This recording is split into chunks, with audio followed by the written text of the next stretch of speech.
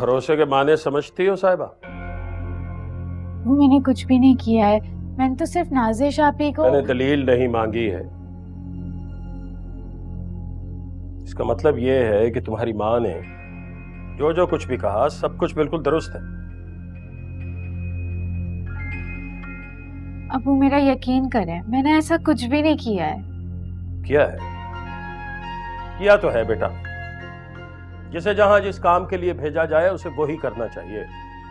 इधर उधर वो देखते हैं जो बेराह रवि का शिकार हो। तुम्हारी बहन को नौकरी करने के लिए भेजा था ना कि दिल लगाने के लिए। और तुम्हें कॉलेज पढ़ने के लिए भेजते हैं। खबरें पहुँचाने के लिए नहीं। कल से कॉलेज नहीं जाओगे तुम। अब आप क्या कह रहे हैं? मेरे एग्ज़ाम्स आने वाले हैं। अगर तुम्हें एग्ज़ाम की फ़िक्र होती ना तो तुम्हारा ध्यान इधर उधर ना जाता। इसे सजा मत समझना। सजा नहीं दे रहा हूँ मैं सबक दे रहा हूँ। ताकि तुम असली सजा से बच सको।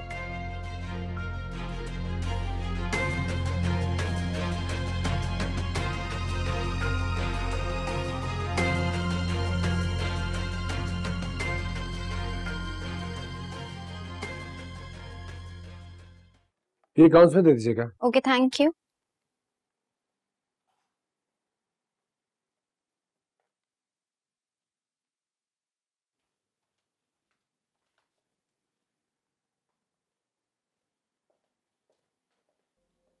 सर ये नंबर मिला है। इसका नंबर है ये? अरीज के शौहर का। आई नो इसका कोई फ़ायदा नहीं है और ना ही हमें अब उनकी ज़िंदगी में दखल अंदाजी देने का कोई हक है। लेकिन सर बात शादी की नहीं है। बात उन हालात और वजूहात की है जो इस शादी से जुड़े हुए हैं। और सच पूछें तो मैं बहुत परेशान हूँ अरीज के लिए। पता नहीं वो किन हालात में होगी। लेकिन एटलीस्ट इससे हमें उनके घर का एड्रेस तो पता चल जाएगा कुछ तसल्ली हो जाएगी। Thank you you okay, sir?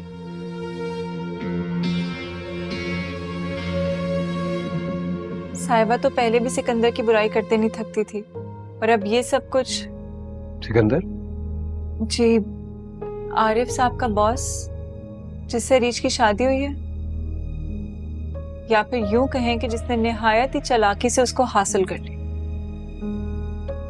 Nazish thank you very much आप इस सारे प्रॉब्लम में मेरा इतना साथ दे रही हैं।